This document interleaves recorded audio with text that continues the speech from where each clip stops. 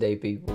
Zodac here, back with another video. If this your first time being here, make sure you like and subscribe to the channel. Now, without further ado, we're here today on Mother's Day to talk about the ah! worst mothers in anime. now, I wasn't gonna really do a video or talk about Mother's Day. You know, it's just, you know, I was gonna do something on my mom, but ViniTube dropped a top 10 worst mothers in anime video, and I was like shit, fuck it, we'll react to it because honestly, in my head, I really can't think of bad moms. Well, the Promised Neverland. The Promised Neverland. If you count that as their mother, which they called her, she could be top ten. Honestly, she could be number one. Um, I can't really think anymore after that, except maybe Erza's Erza mother from Fairy Tail. Like she was pretty much scum, kind of. But um, that's it. I can't really think of too many bad. It usually be the dads is like assholes and leave their kids at the age of two. But you know, I can't really think of any bad moms. But ViniTube got us on that. So without further ado, let's jump right into this video. And, up next, and if you want to watch the original video, make sure you click in the description below. here has a cool list for you. Anime moms are a dime a dozen, so yeah. we'll use this special day to remember some of them. However, we're going to make this one more unique. I won't be talking about nice moms who wear that signature hairstyle and exist to die in order to further the plot. Uh -huh. Sorry, Trisha Elric. Also, uh. we're not having a countdown of those rather sexually charged moms, okay? So, sorry, yeah. Yeah. What we're gonna do is a countdown of the worst mothers in the anime. worst. Yep, you heard it right. Strap yourself down as we go through some of the most horrible and atrocious moms the world. Yeah, I told you, Erza mom is pretty, pretty. Yeah, the Promised Neverland, Isabella. The list is the kids She's number ten though. Gracefield House. I expected her to be like higher up there, like four, even one. Like she, she literally fed her kids to monsters, bro.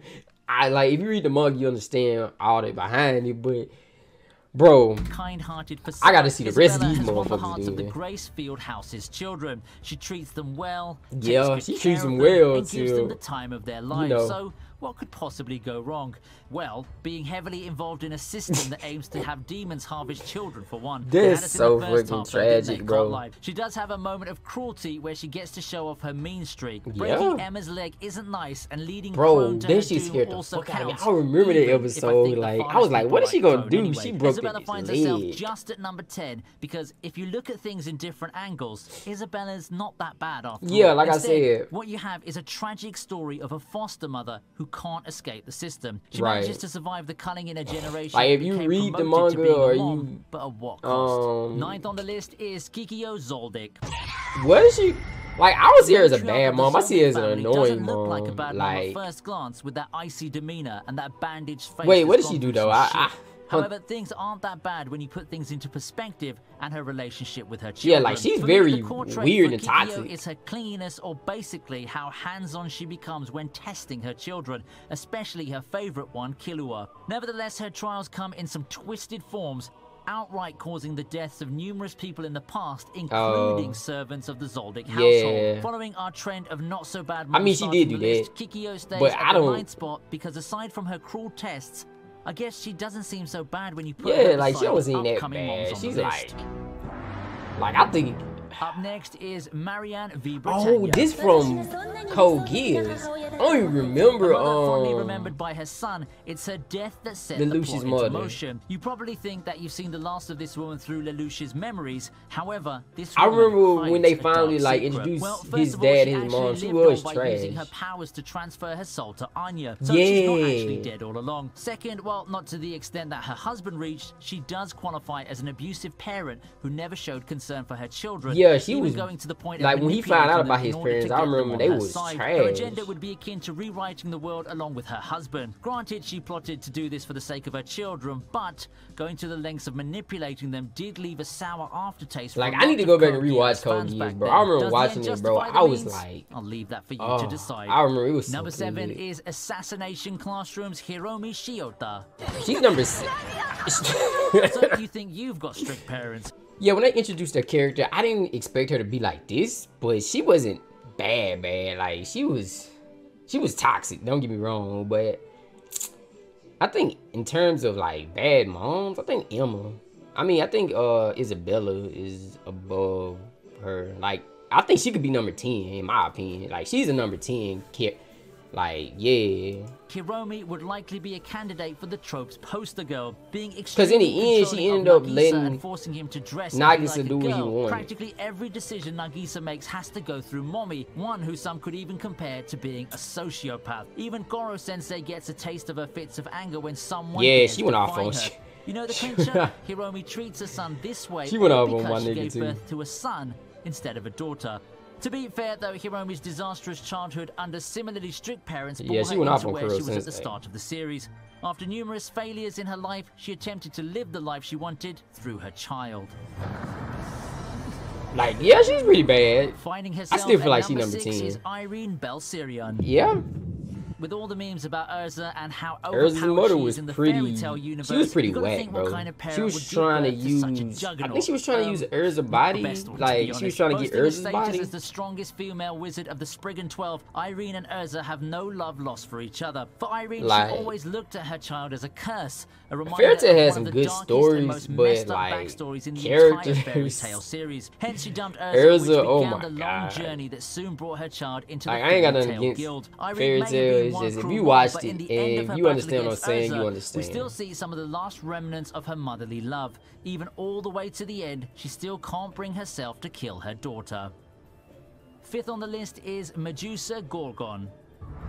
Oh, Soul Eater. She Forget how was pretty rough. first antagonist 'Cause she was the old run in the dude's mother, as a sinister and manipulative witch. like the Even chick or wore a dress? out of the way, she passes the terrible mom test with flying colors. Her Like, treatment she's pretty of Krona whack. is all you need to look at to get a glimpse of how low she can get. Locking up Krona for disobeying her orders to kill rabbits is just the tip of the iceberg. Yeah. How about manipulating events and having the master plan of Krona killing her in order to complete the Black Blood? Oh. To say Oh. that Krona is without love would be debatable. I mean, you can say that she loves Krona, but she does in her own twisted and sadistic way. I don't know about you, but Medusa for me has absolutely no Slowly redeemable was qualities good. whatsoever if we don't count her admittedly cool design. The ending, you know, is shaky, but in overall, I think Number Soul Eater was is good. Akemi Hinazuki. Erase. Oh yeah, she was whack. She was How whack. can we forget Akemi Hinazuki? One of the most memorable moments for all the She wrong was reasons so in Erased bro. I haven't watched Erased in so long, so I forgot this chick. But I remember watching this, bro, and she was so toxic. She was she was the abusive mother. She was she had the abusive mother trope down to a T. Like this bitch right here. Oh the poor sight of Kayo being abused by her mom. An unfortunate abusive relationship with her husband and the resulting divorce caused this mother to release her frustrations on Yeah, her she daughter. used to beat who her daughter, definitely bro. ugly. She fittingly served as the other antagonist while the mysteries about the one who killed Satoru and Yeah, Kayo take bro, a backseat. was a And roller coaster, bro. Like, scene. the ending, I doubt anyone watching Erased could Again, even stand uh, but like watching it, it was something to be like. and I'm gonna be freed from her real, after all Erased. she I was like, how did he not end up with this shit? But I, but it's little too late for anyone to it feel was crazy. It was a crazy thing. It was a crazy roller coaster, bro. Third place on the list is Big Big Mom. I can see that. Big Mom from One Piece is the matriarch of quite a I can see large Big crew Mom. of her biological children. However, when Especially, it comes to like, mothers, her she's whole, like- one of the worst any child could ask for. She if used her beat- appearance yeah, doesn't she already beat trigger some Uh, warning wait, what's signs her name, flags, does actually get much worse than that. From Big Mom, most of her children are just army pieces to Yep. her. Pawns, pieces of her collection, or whatever you want to call it. It doesn't make it any better. Big Mom's the type Big Mom used to be bad when she was young now. I'll be real with you. children for various things. so that long ass nose she got and She's not exactly the model for a good mother. Yeah, I can't like, see anyone. It's a reason why she got 80 some kids or 30 some kids. I forgot how many kids she got. You can get in a mad quest to be the pirate king.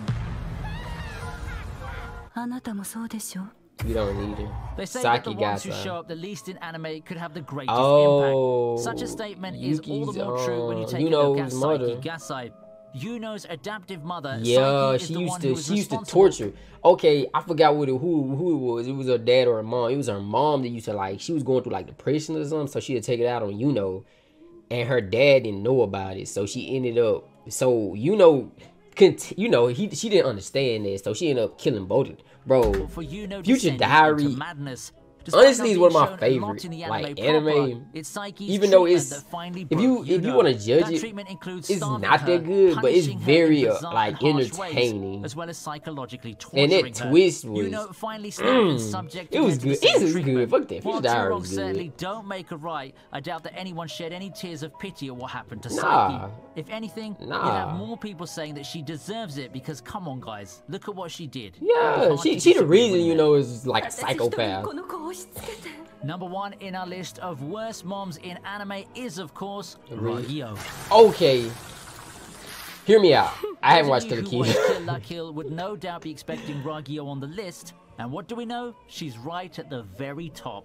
We've seen mothers who've been abusive, devious, and manipulative with uh -huh. the uh-huh. previous nine entries, but Ragyo takes it a step further. Really no. She's the type of mother who wouldn't only psychologically torment her daughter Satsuki, but also do things that count as sexual harassment. Oh. Physical abuse from other anime mothers seems like a cakewalk compared to what she subjected Satsuki to. What she Ryuko do to didn't have it any better. Huh. She was pretty I might need to watch Kill supposed death after failed experiments. Their reunion didn't patch things up one bit to say the least. Satsuki also received further torment, being the planned catalyst for Ragyo's super weapon. And unlike a lot of moms who get stopped by their parental instinct in a battle mm. against their children, Ragyo resolves to strip what remains of her humanity in order to kill Ryuko. Wow. How was that then for a rather unorthodox that was, list That was some good. That so was folks, that was good list. I feel like some of them was higher than others than, than they should have been. Nevertheless, I think I'd prefer but to end overall, this on a positive note, and maybe we can spend some time commemorating some of the better mothers on the comment section. Yeah, it's I'd some great moms. It's some well great moms in anime. Like, bro, I think you can make a top 20 top mothers in anime, but like, I, it was hard to figure out bad moms in anime, and he put it together fairly well. I'll be real with you like I said, Vinny 2 makes some Vinny 2 makes some dope ass top tens, bro. Check them out. Uh, like I said, the links to this video will be in the description below. Comment down below some of y'all, you know what, favorite moms. Yeah, like like Vinny 2 said. Come in the comment section below, y'all favorite moms. Um, my personal favorite mom was Eren. Eren's mom from Attack on Titan, just because. Don't get me wrong, like bro, she she didn't have much of an impact on the show, but the fact that she sacrificed herself like was willing to give up her life to save Eren and them was like I was like, damn, bro, that, that's mother love. Even though she kind of regretted it and like you know, but when it came to the decision at top, she really she said, "Go, leave me and take my kids and go." And it was like, bro, this shit was devastating, bro. But yeah, that's it for this video, guys. Hope you guys enjoyed it. Make sure you smash the like button. And again, if you're new to this channel, hit that subscribe button. And as always, Zodac Anime, and I'm out. Peace. coming aside.